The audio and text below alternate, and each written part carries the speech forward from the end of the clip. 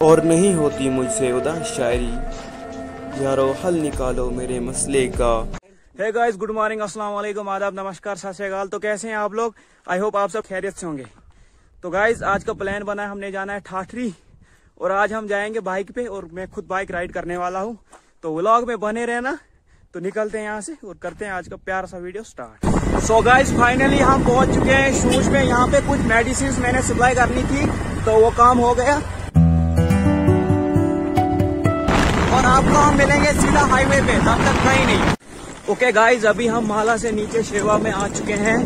तो यहाँ से मैं आपको दिखाऊँगा शेवा पुल। देख सकते हैं आप। कल यहाँ पे रोड थोड़ा खराब है, इस वजह से मैं आपको अच्छे से विजुअल नहीं दिखा पा रहा हूँ। So गाइज़ अभी ठाटरी में मैंने कुछ बालों की सेटिंग भी करानी है। आपको पता लग ही गया होगा कि मेरे बाल कैसे खराब हो चुके हैं। तो मैं आपको पहले दिखाता हूँ प्रेमनगर का हाईवे ये देख सकते हैं आप पहाड़। गाइज़ ये रहा शेवा पुल आप देख सकते हैं।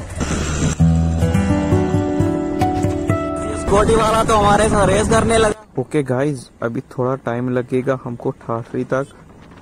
तब तक हम आपको कुछ शायरी सुनाते हैं। और नहीं होती मुझसे उदास शायरी यारो हल निकालो मेरे मसले का। मुझे भी हंसना है। बात तो बस दिल की थी मेरी जान। वरना अगर शक्ल पे मरता तो तुझ पे कभी न मरता। तुम प्यार की बात करते हो मुझे तो अब दोस्ती करने से भी डर लगता है।